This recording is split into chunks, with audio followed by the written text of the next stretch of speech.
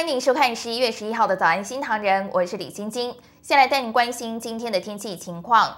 今天东北风减弱，除了北部山区以及东半部还是有些零星的雨势之外，其他地区都是晴到多云的天气。各地早晚稍凉，北部及东北部温度回升，中南部白天的高温仍有二十八到二十九度。早出晚归的朋友要多留意温度的变化。带一起来看到国际媒体重要信息。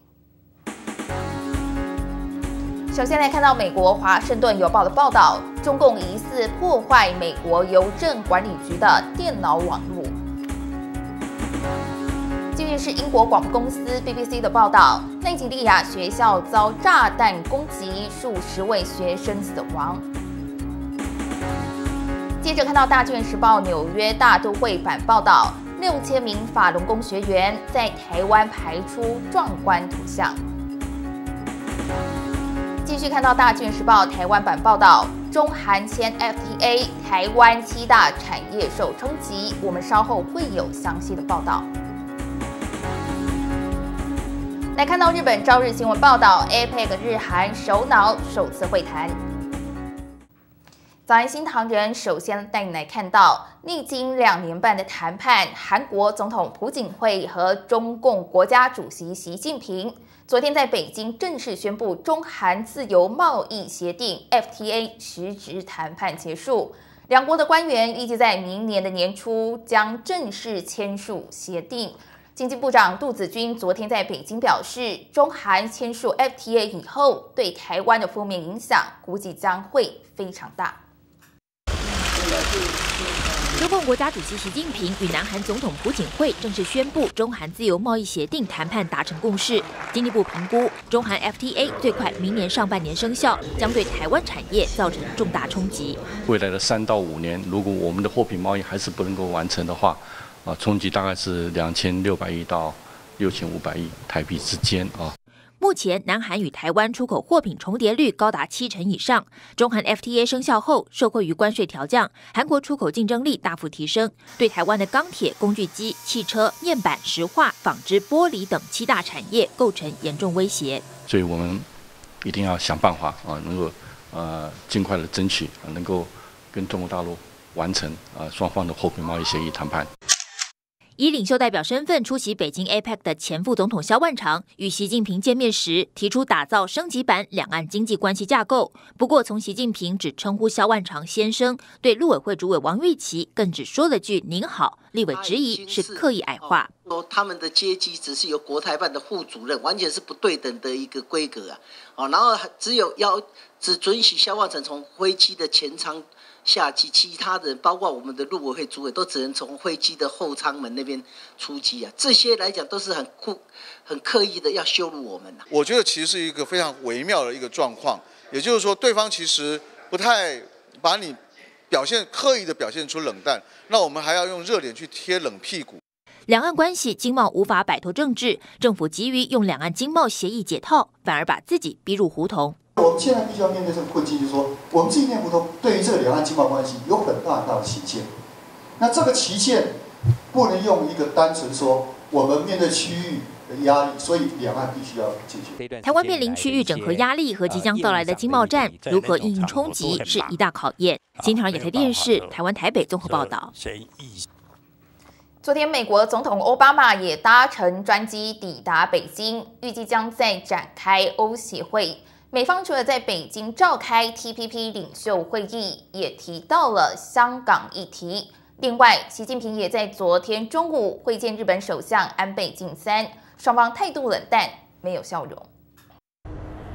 美国总统奥巴马今天上午抵达北京，出席亚太经济合作会议领袖峰会，并将在周三与中共国家主席习近平会谈后，继续飞往缅甸参加东亚峰会。外媒指出。奥巴马透露，能够理解香港对中国来说是十分复杂的问题，但美国不能不关切人权议题，而美国最优先考量就是香港民主示威能避免暴力冲突。另外，由美国主导的跨太平洋伙伴关系领袖会议今天也在美国驻华大使馆举行。专家认为，美中在 APEC 中推动各自的贸易投资议程，较劲意味浓厚。APEC summit is supposed to be about global harmony, but President Obama and President Xi seem to be doing their best to unravel that feeling of togetherness. Both sides are pushing their own trade and investment agendas, and Obama is delivering a particular slap in the face to his Chinese hosts by meeting heads of state from the TPP, the Trans Pacific Partnership, which is a trade pact that China is not invited to join. 另外，日本首相安倍晋三也出席了 APEC 高峰会，并在今天与习近平举行将近半小时的双边会谈。 这是两人上任后第一次举行的正式会谈。有人拿安息两人照片做文章，认为气氛尴尬。会上双方都同意改善长期的对立关系，包括领土争议、区域竞争和过去历史的敏感问题，但并未做出具体问题的协议。新唐亚太电视张瑞珍编译。丹宁用一百秒浏览重要的财经讯息。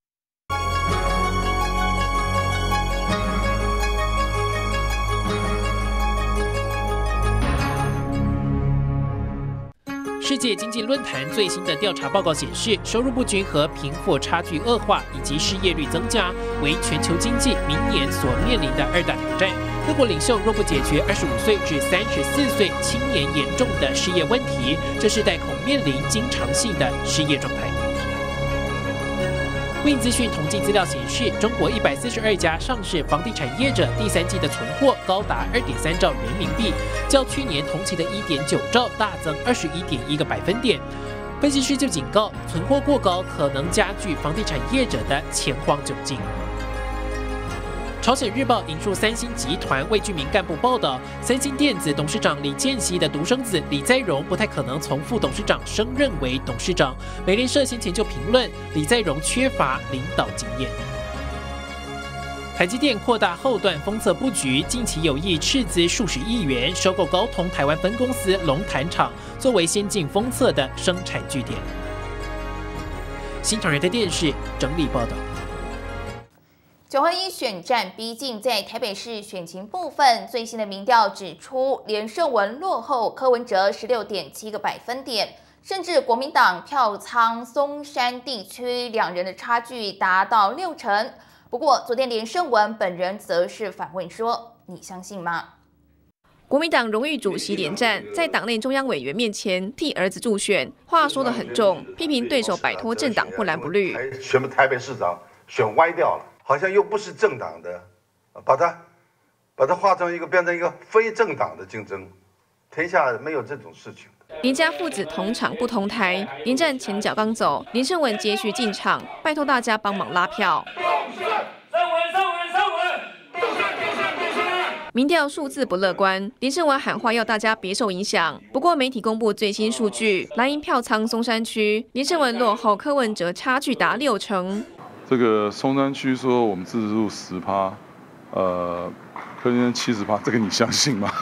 我想这个跟我们在走在路上，跟我们在松山区的基层在行走的所得到经验是完全不同的。这位柯文哲安排到大巨蛋了解施工情况，没有戴安全帽，只能在工地围篱外张望。碰巧隔壁就是国小，正逢下课时间，学童隔着栏杆争睹柯文哲。连胜和柯文哲，你们比较喜欢谁？因为柯文哲很帅。柯文哲。如果投票投票年年往下修的话，会会会赢比较多。为在民调数字有利的一方，幕僚还评估可以比连胜文多拿八十万票，引来连胜文批评有够骄傲。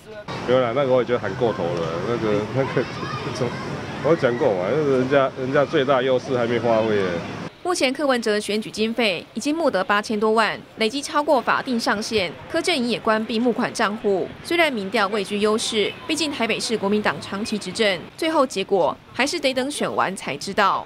新唐人演的电视卢天长、刘姿莹，台湾台北报道。立法院财委会昨天考察台北一零一经营状况，这是鼎新爆发黑心油事件，鼎新二董魏应交被。逼辞去台北一零一副董事长及总经理后，财委会首度考察一零一，被外界解读为宣示主权。而立委质疑鼎新集团位于八十四楼的办公室租金过低，对此一零一董事长宋文琪说，相较于其他楼层，鼎新并没有特权。媒体关注下，立委来到一零一大楼与董事长宋文琪会面，了解公司营运，特别是鼎新。他的金租金都没有没有比别人便宜，我只能说跟其他的就是他上下的楼层来比，我们的这个叫价已经到了四千四百块以上，那这个是在附近都没有的。另外，有消息称一零一大楼内路基密度高。包括联想、天狮以及中国中钢集团所属的中国经贸公司，还有陆资防毒软体公司猎豹，都引起立委关注。那有没有中资的一个商家？有。那那多不多？不多。现在是十五家，百分比只有六个 percent，所以它不是很多。我们其实最多的还是外商。台北一零一经营权已经回归公股，宋文琪说，魏家退出不会冲击一零一营运。另外，他建议魏家应该以原价卖出一零一股份。目前，中信金已经抛出评估购买意愿。新台电视吴仲涵、张永如台湾台北报道。昨天一早，在台股开盘前，香港证监会与中国证监会公布，已经准沪港通将在十一月十七号启动。香港股市开盘应声大涨。更多新闻焦点，休息一下，早安新唐人，我们马上回来。最欢乐的时光，最顶级的享受，满足长中青少幼不同族群需求。亚洲最大海洋航行者号。皇家购物大道精品林立，斥资百亿元打造，超过五十二项休闲活动，预定六月二十六、七月一日、七月四日，您一生中最极致的游轮之旅。山富旅游零二四四九三五三五。想拥有清新、健康、环保又美好的生活吗？萃取自远古生物化石、超细微构造的硅藻土。可吸收、调节湿气，是绝佳的室内壁材。日本最新科技，专家指定使用，防潮、防污、除臭、抗火，节能又环保，健康住宅的专家。风裕国际，硅藻起居生活。大法，它是一个高德大法，不仅是我们的身体受到净化，我们的道德啊，这个灵魂都得到提升。法轮功非常的正，这是我第一个印象。他主要是让我们做一个是先他后我、无时无我这样一个完全为别人的人。所以呢，我觉得生命中突然有希望，那真是那个好处带来的，没法用语言去形容的。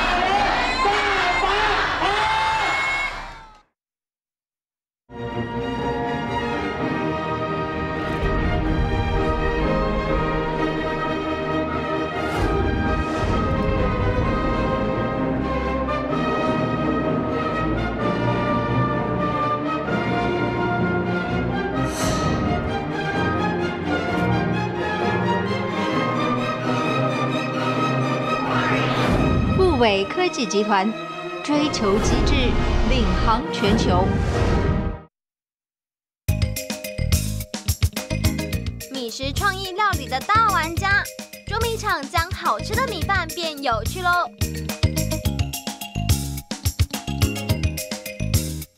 纯米制作，绵密 Q 弹，无麸质，好消化，少了热量，多了健康。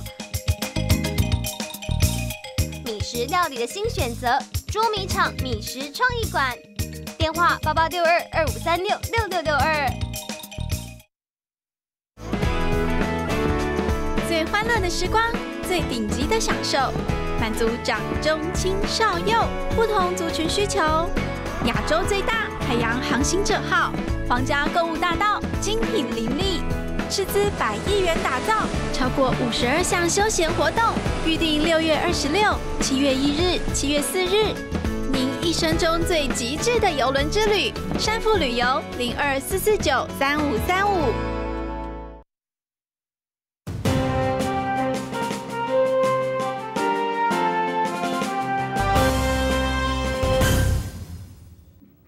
欢迎回来。中共国家主席习近平九日才说沪港通很快就会开通，隔天也就是昨天就传出将在下周一十七号上路。大纪元时报报道，沪港通是中共总理李克强有意引入外来资本，冲击中共权贵阶层阻力，倒逼改革的一项计划。在目前香港局势依旧处于僵持状态的形势下，习近平的表态强势助推了李克强倒逼改革的计划。曾是六四民运二十一位被通缉的学生领袖周峰所，在昨天接受我们的专访，谈到了之前亲身到了香港占领区的感触。他说，八天七夜的香港行，让他忆起了二十五年前的六四。穿着香港学生送的黄伞黑衣，刚结束香港占领区八天七夜的守候，六四学院领袖周峰所直飞来台，心情难掩激动。我每天在那里就是觉得好像没有睡觉的时间，就是仅仅就跟他们在一起，我就已经非常高兴了，因为呃，就是作为八九年的幸存者，就是我就时时想到那些死难者的一种嘱托哈，在这个时候他们最想的肯定还是就是这种。民主自由哈，在这个年轻人身上得到实现。作为六四亲历者，周峰所格外注意到现场环保装置艺术，坦克炮筒里还插着一朵鲜花，代表生命的这个鲜花，生命和希望，它最终会战胜这个。坦克所代表的这种暴力和暴政，在香港的环保坦克街头立起的雨伞人标志，仿民主墙的联农墙。周峰所认为，在民主自由的香港，学生思想更开放，对中共政权本质的认识，对和平非暴力抗争的方法及理想坚持，都比六四一代青年更前瞻。欣慰二十五年过去，真民主精神薪火相传。大部分人就是从小就参加这个纪念六四的活动啊，所以。八九六四是对他对他们对政治认识的开始，哈，那所以那种残酷并没有吓倒他们，呃，反过来他们被这种理想所激励啊，所以这的确是就是感觉是呃八九民运的这种火炬哈。在那里重新燃烧啊，那样一种感觉，呃，是非常的呃让我难忘。直言香港雨伞运动是中国的希望。周峰所和黄之锋、周永康等人对谈过后，希望香港青年世代抗争能对未来中国大陆民主化起示范作用。独立啊，有新鲜思想的年轻人，在二三十年以后。啊，会成为这些地方的主体，呃，最重要的力量，而这个呢，对于中国大陆的民主化也会起到呃不可低估的影响，啊，这是中国大陆将来呃最可取的一条啊，给从这种黑暗中间走向新生的一条路，所以呃，我觉得大陆的呃这个民众都应该。到那个地方去看看。秀出现场看到台湾隔海声援字条，周峰所机赏香港井然有序的公民参与，实现风力发电的自习室，透露长期抗战的决心。希望二零一四港澳台两岸三地青年抗共再现中国民主曙光。新唐亚太电视高阶伦张轩，台湾台北报道。接下来用一分钟带您快速浏览中国的重要讯息。中共国家主席习近平于十一月九日上午会见了参加 iPad 会议的港府特首梁振英。习近平对香港问题引用四中全会决定的说法，继续不对梁振英做出评价。而江泽民集团的要员、主管港澳事务的协调小组组长张德江不见出席会议。香港战中运动已持续四十四天，高等法院今天延长禁止示威者占据马路的临时禁制令，又授权警方拘捕违禁者。这意味着警方可以随时清场。最近，美方情报人员表示，中共利用爱国情节，在海外招募大批中国留学生进行低阶间谍活动，在海外大打间谍人海战术。中国又爆发奶制品有毒污染丑闻，山东省商河县超过一万斤的原奶被验出其中的致癌物黄曲毒素超标，经查是喂养乳牛的饲料出现问题。报道还称。已经有奶农将有毒鲜奶减价售向市场。新航亚太电视整理报道。上周末，有六千位来自台湾以及其他国家的法轮功学员齐聚台北自由广场，拍出庄严壮观的图案，吸引观光客以及媒体的瞩目。其实，从两千年开始，法轮功学员就以巨型牌子向外界展现法轮大法的殊胜与美好。自由广场前，从高空俯视下，巨大的女佛图案手持书籍转法轮，上方佛光普照与下方礼义圆明的字样清楚可见。高达六千人以上的人员依序入列排字静坐，笔画的呈现细节、色彩的区分丝毫不马虎。这看似简单的拼贴构图，其实事前准备工作早在半年前就已经开始。那我们这条线把它延伸好了啦。现场丈量，前置工程动员三百人，但却要在短短三天之内。除了空间量测，还必须确定轴线、图像的基点线、样格线。再由人员铺上主体图像，固定坐点，接近三千个节点的繁琐作业，远超外人想象。就是我们这个场地这么大，然后我们的主题是什么？然后我们中间要摆一些什么主图？这个就是按照实际的尺寸去把它画出来，包括每一个点、每个线它的位置。所以我们每一个坐垫的尺寸跟位置都要把它定出来。那今年的这个图形，呃，难度比较大的是这个女佛的部分，你要排出她的神韵，然后那尤其是那个比例啦，然后从高空高度啦，怎么拍，其实它都有影响。主办方表示，在前置过程中，其实遭遇了相当多的困难，但最令人感动的是，法轮功学员彼此付出配合，短短的几天完成了这项巨作，未来也不排除考虑申请金氏世界纪录。从两千年开始，法轮功学员开始尝试进行排字的动作。二零零八年，四千人在南投排出真善远及英文法轮大法。到了二零零九年，六千人整齐划一排出法轮大法书籍转法轮。二零一三年，六千七百位法轮功学员排出巨大的金色莲花及创始人李洪志先生法像。每一次的排字图像越加变化，也更加有难度。新唐亚太电视陈静娇、沈维彤，台湾台北报道。旅日棒球好手杨代刚回到台湾了。下节早安新唐人，我们带你看到昨天杨代刚记者会的现场情况。休息一下，我们马上回来。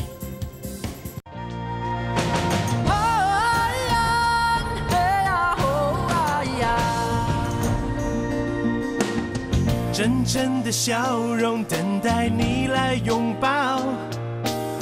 我们有热情的生命力，惊喜的美食，花舞的四季，台湾处处感动你。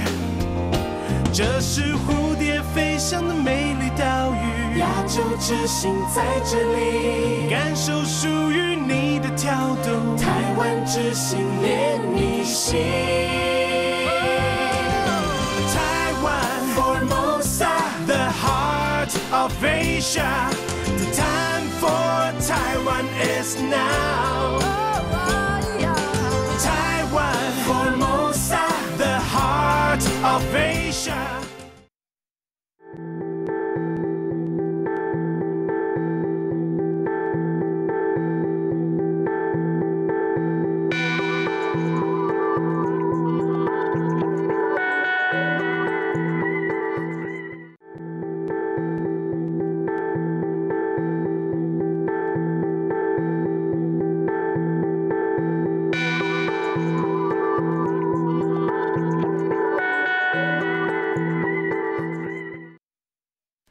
常见的口腔疾病主要是口腔卫生没做好。根据科技研究发现，椰壳的活性炭具有强大的吸附分解能力，能减少牙菌斑滋生。搭配汉药配方，缓解您口腔问题。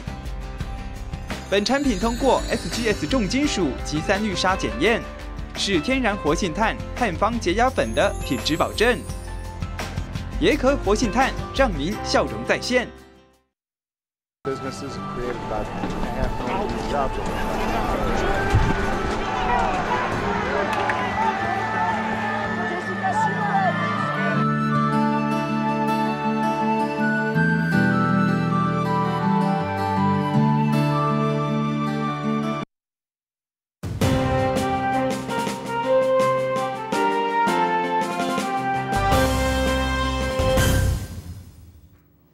欢迎回来。根据美国职棒大联盟官网资深记者鲍曼在个人 Twitter 上的最新消息，台湾旅美棒球好手王建民已经和大联盟勇士队签下一纸小联盟合约，同时附带明年大联盟春训邀约。这是王建民大联盟的第九个球季，历经洋基、国民、蓝鸟、红人、白袜的第六个球队。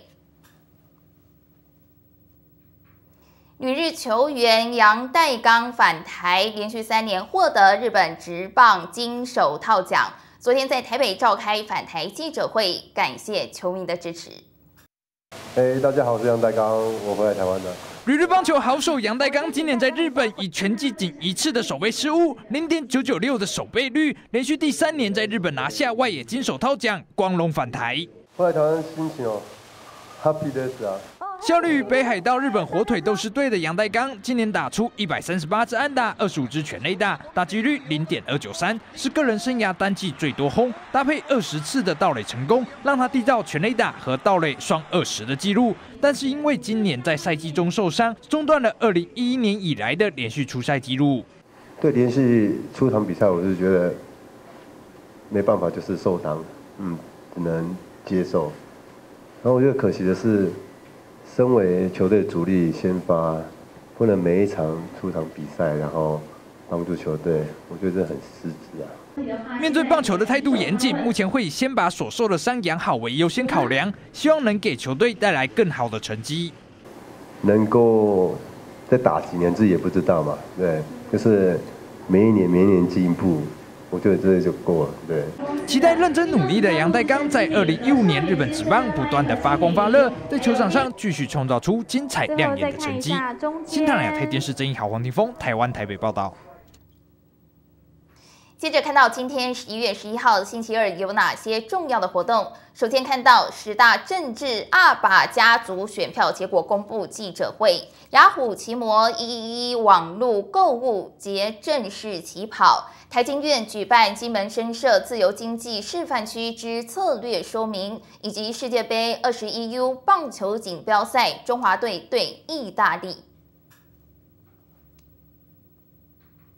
接着带你来看到十一月十一号的天气预报。